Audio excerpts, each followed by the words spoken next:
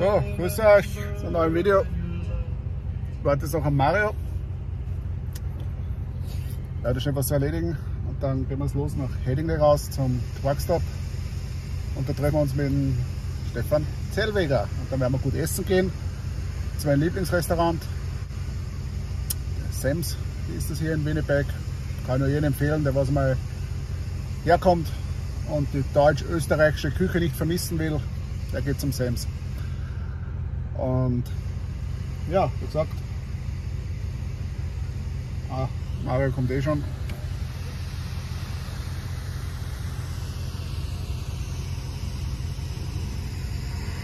Okay, jetzt muss ich kurz aufhören und dann melde ich mich nochmal, wenn da ist.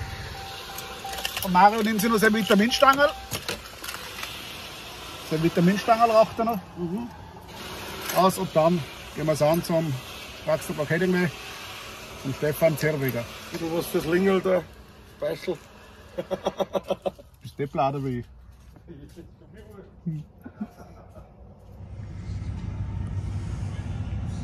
Jetzt los. Zum Steve Zerweger. Zerweger. So, die Flotte gecleant, einwandfrei. Vorne nichts umgeschaut und um. Scheiße, ich bin nicht nah auf. Markus ratlos. Ja gut, die ratlos. Die ratlos. Im wahrsten Sinne des Wortes. Könnten es auf einer Range Road probieren. Ja, das war nicht. Finde ich ja nicht hier auf der Range Road. Polizei.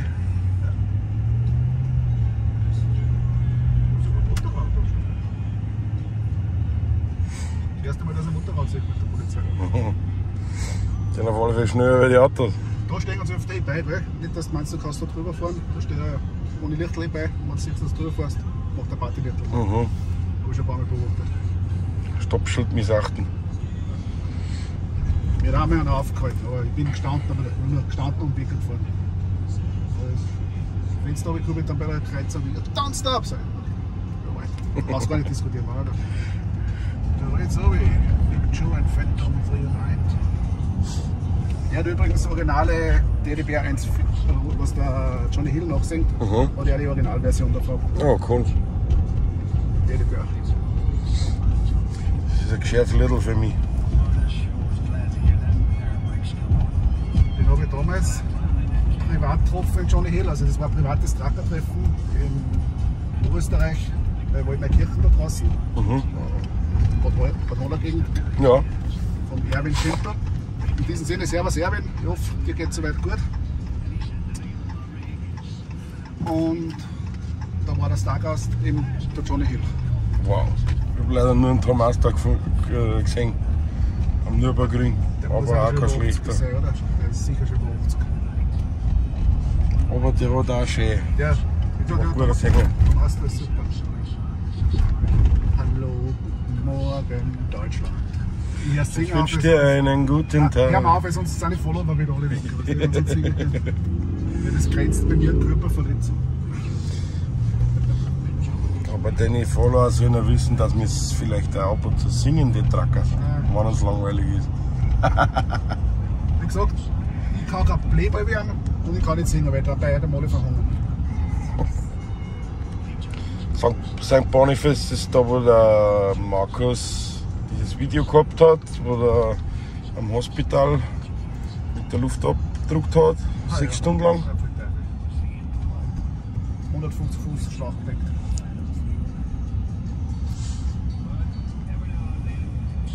Ja, das wirst du auch mal haben, wenn du mal am Tank weiter rum ist. musst du einfach zuerst den Druck aufbauen, gescheit. Mhm. Aber immer zuerst das Boden und die hast Ja. es kann sein, dass du dann den Druck drin hast, sonst würde ich nicht machen. Diese Brücke ist als erster da. Da ist so zum Krankenhaus gegangen. Sie sind da drinnen war ein Restaurant früher. Ah, okay, ja. Also das Museum ist auch links, aber es hat jetzt so ausgeschaut, wie wenn es rechts war. Da- Genau, das ja. Nur für die, Follow für, für die Zuschauer äh, rechts von der Kamera aus ist halt, jetzt ist wieder links. Das andere Das rechts. Hu genau, das Human Rights Museum. Sollte ganz cool sein. Ja, und jetzt bist du. Downtown Winnipeg. Der ist sehr bekannt, dieser Stadtteil bei den Kanadiern für Kinderunterhaltung, Erwachsenenunterhaltung, sprich gemütliche Abendbars, gutes Essen.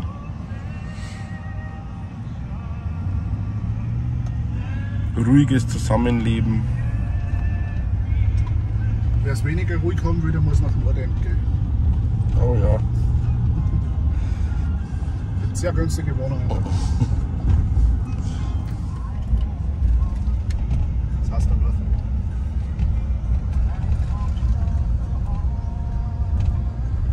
Campman, Food Club.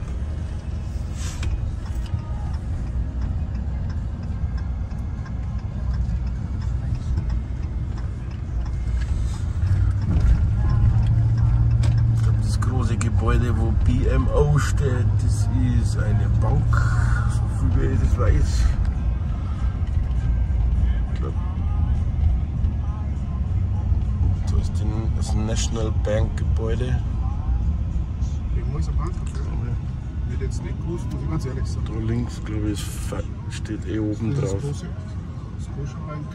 Genau, und da links, da wo der Soldat steht, ich glaube, das ist da. Äh, ja, genau, da ist der Soldat. Ich weiß nicht, was da oben steht, aber ich glaube, das hat irgendwas mit Bank zu tun, Royal Bank oder. Ja,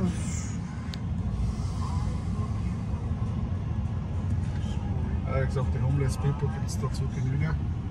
Stehen dann immer auf die Kreuze weiter und fragen, ob ein paar sehen. haben aber nicht penetrant, also. Wenn mir einer nichts gibt, das akzeptieren sie genauso, wie wenn du einer was gibst. Hier ist das äh, Winnipeg Jets Eishockey Sta- Stadium.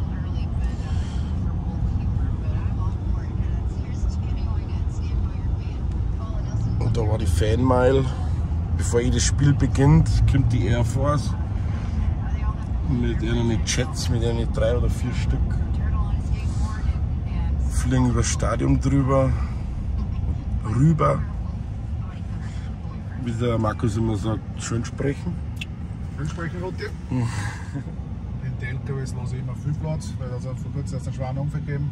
Also diese Kopfbedeckung in einem Fahrer hat den LKW aufgeblasen und hat den auf den anderen LKW aufgeschoben. Eh auf dem Lasch.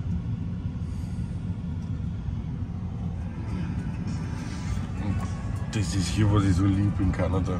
Überall wehen die Fahnen, dieser Nationalstolz, dieses. Einfach nur schön. Brauchst du für die Fahne nicht verstecken. Gibt es doch den, wo man sich für die Fahne verstecken muss? Ja, Der war jetzt böse. und zweideutig. oh ja. Also Österreich ist schon mal nicht. Eher so ein Nachbarbereich. Bin auf den Shitstorm wieder gespannt. Shitstorm braucht, Shitstorm braucht keiner geben, weil ich bin selber Deutscher und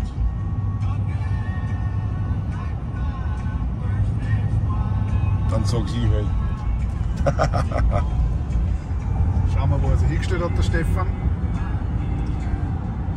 Mit seinem Moulin Rouge. Das ist der Name von seinem Truck. Moulin Rouge. Oder die Moulin Rouge, weiß gar nicht. Er oder die? Die Moulin Rouge, glaube ich. Ja, ich weiß nicht. Ja, Moulin Rouge, ja. Ja, ich weiß nicht. Ich bin. Ich nichts wissen. Zur Not geht auch ich Bims.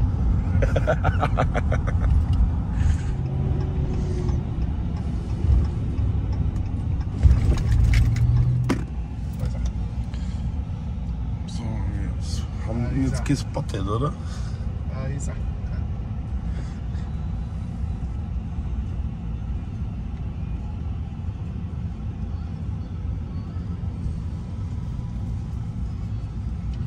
Oft dann oder was?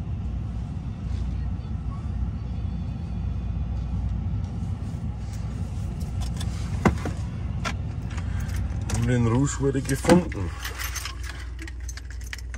Das gab es so. Viel weiter ein bisschen. Mit der anderen Kampf.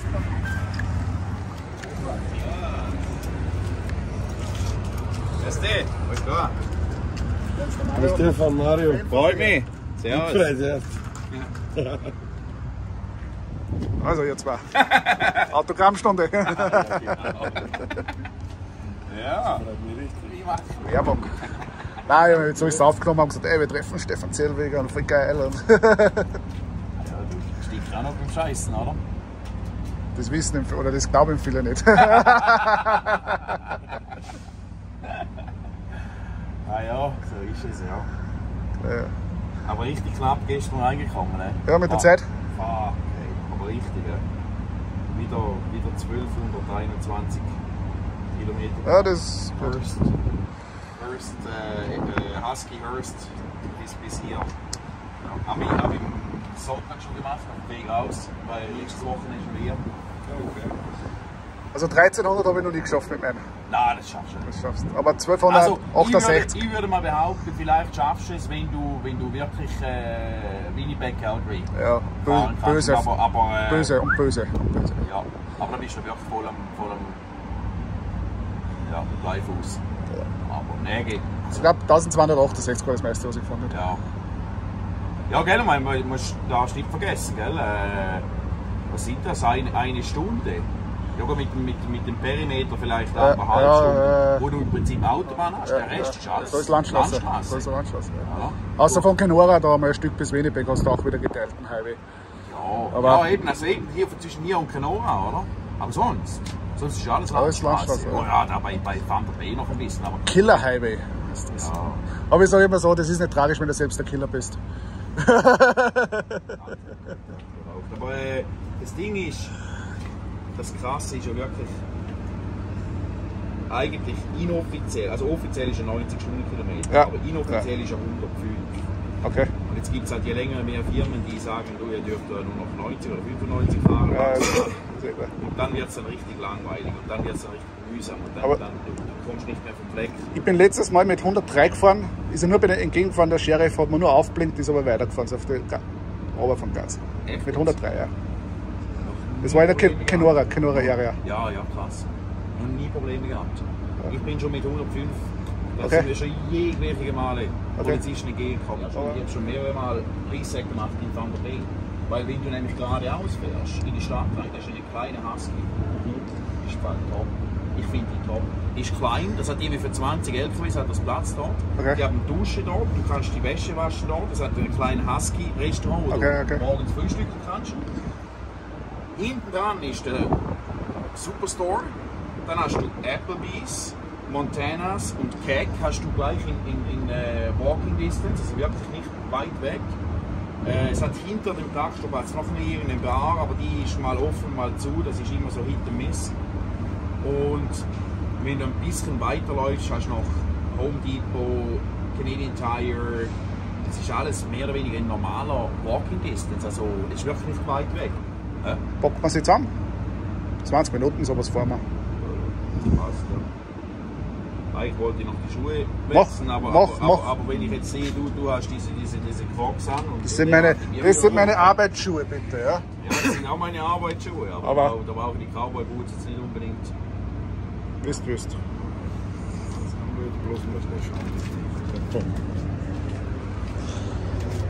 Wisst, wisst.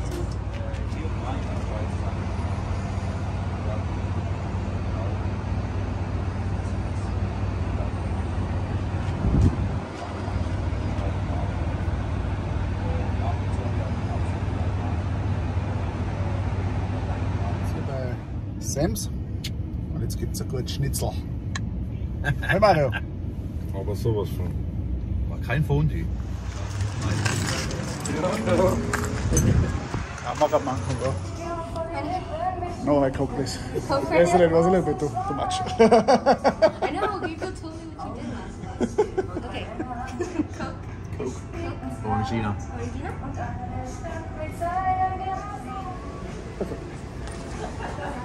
Need I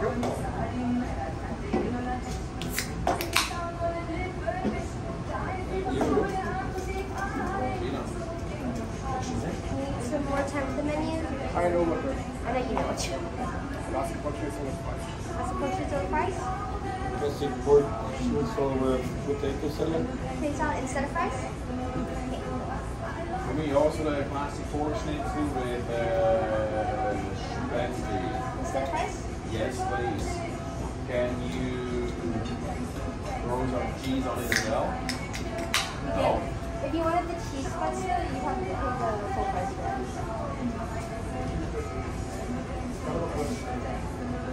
Okay, special. No, schnitzel usual. You want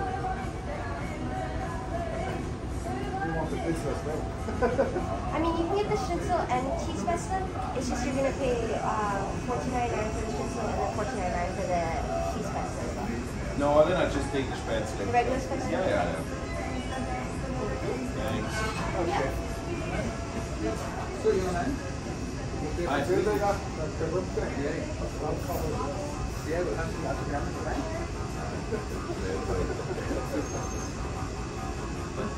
Geht's gut? Keine Heineken heute. Ja, ja, ja. Keine Heineken. Hätten du was vor der Mann? Hast du was vor?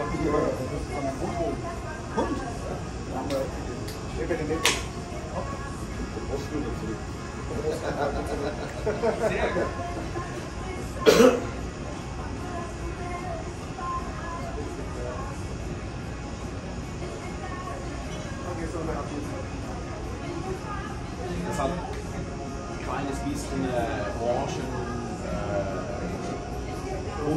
es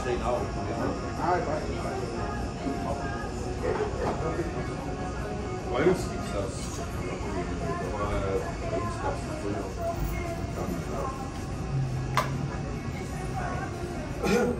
Fakt ist, das zählt schon so mal.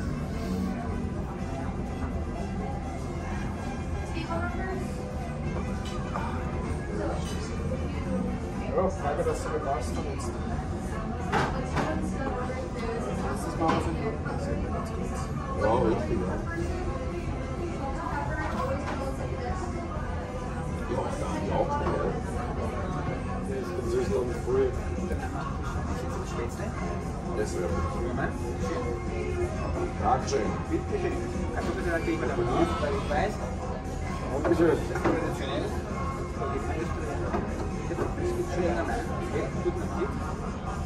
Dankeschön. Danke.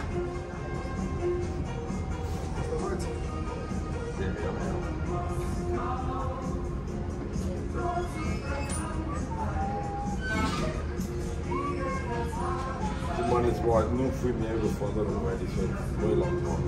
Ja, ja, aber ist Neuland. Das ist Pfeffer, ne?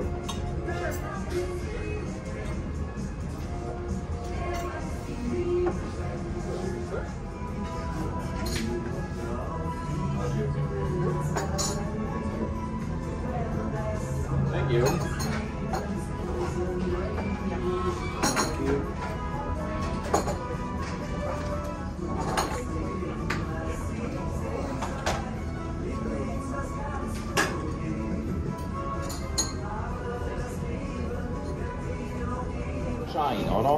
Aber mein, ich, mu- ich muss ja niemandem etwas beweisen. Ich muss einfach für mich schauen, dass, das, dass, dass sie durchkommt, dass alles passt für mich. Das muss jeder, jeder. Und- Jeder schon jeder auf sich selber. Ja, muss ja, muss ja. Weißt und, und ich bin ja überhaupt nicht so, dass ich, dass ich sage, ich helfe niemandem. Wenn, wenn natürlich irgendwelche eben Anfragen kommen, ja, weißt du, wie ist es und hin und her. Ja, ich habe mal ein Video gemacht, wo ich das meiste erkläre. Für viele ist dann schon, ja, okay, dann passt es nicht für mich. Ja, es, ja, das Geld, dann teilweise Vorstrafen, dass das auch dazu kommt. Und, und das andere ist natürlich das Englische. Und, und, und weißt, ich, bin auch, ich bin auch nach Kanada gekommen und ich konnte kein Englisch. Aber ich bin auf einer Farm in the middle of nowhere gewesen und mein Chef war Holländer. Wenn ich was nicht verstanden habe, habe hat er es mir auf Holländisch gesagt. Ich sage, okay, so habe ich gelernt, Englisch zu reden. Ja, die kann mit null Englisch schon mal. Ja, minimalsten basic halt, ja. Aber ich meine, es, es ist schon möglich. Du musst halt einfach, du musst Geduld haben, du musst und, und vor allem für das, was du dann machen musst, mit dem ganzen, jetzt mit dem ganzen Mailprogramm und so weiter und so fort. Du musst das vermögen, dass du die in der Zeit kein, also ich weiß ja nicht, teil- teils Firmen zahlen das. Ich weiß, ich weiß nicht genau, wie es zum Beispiel bei Big Freight war oder so, keine Ahnung. Haben die das Mailprogramm bezahlt oder nicht? Oder wie? Aber dann musst du zurückzahlen nachher. Das hat uns aber keiner gesagt. Ja, eben, das ist eben auch so etwas, oder? oder? Und dann, und dann, dann, dann, dann arbeitest du für, einen- für einen Apfel und ein Ei, oder? Das ist jetzt wieder hingegen etwas, was ich geil finde, wenn du zum Beispiel in Quebec unterwegs bist. Schau mal in die LKWs, die dir entgegenkommen. Die, die winken dir alle, die sind alle weiß. Sind, und du merkst aber auch vom, vom, vom Fahrverhalten her, die fahren normal, die fahren anständig, respektvoll, alles drumherum. Da wird durch die Dörfer wird nicht gerast und so weiter und so fort. Das sind alles normale Typen. Aber bei, bei Seafood, die wollen, die wollen nur noch, nur noch diese Dattelzwicker als, als Fahrer, oder? Und, und, aber jetzt haben wir ein super Team zusammen. 15, 15 Step-Deck und 10 Schwerlast.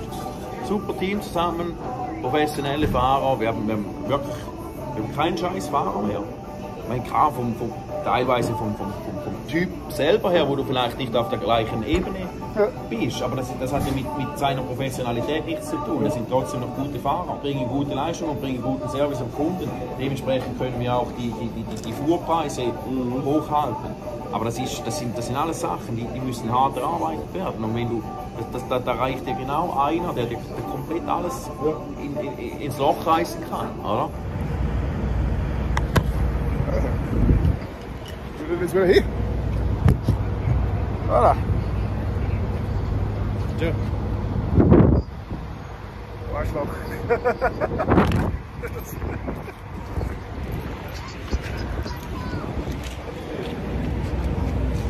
Ich weiß aber nicht, ob es mir der Halbdruck ist.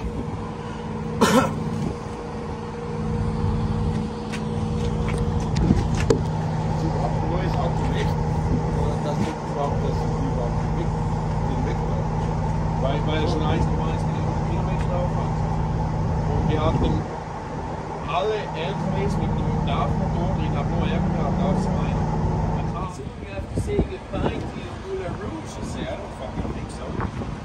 Well, what do you mean? I said, ähm, ich sag, du, äh, wenn ihr, wenn ihr den, wenn ihr den mir wegnehmt, dann bin ich weg. Ja, sicher nicht, ich doch. Es gibt noch andere Firmen. So, willkommen aus der Urlaubszeit. Das war das Video mit Stefan Zellweger. Mal was anderes gewesen. Mario hat es auch gefreut, dass er ihn getroffen hat. Das heißt, Stefan und ich sind gute Freunde. Wir telefonieren regelmäßig zusammen und wenn es passt, wie man sieht, gehen wir etwas essen. Ich hoffe, es hat euch gefallen und in dem Sinne, bis zum nächsten Video. Bleibt's geil, ciao, fertig und baba la Welt.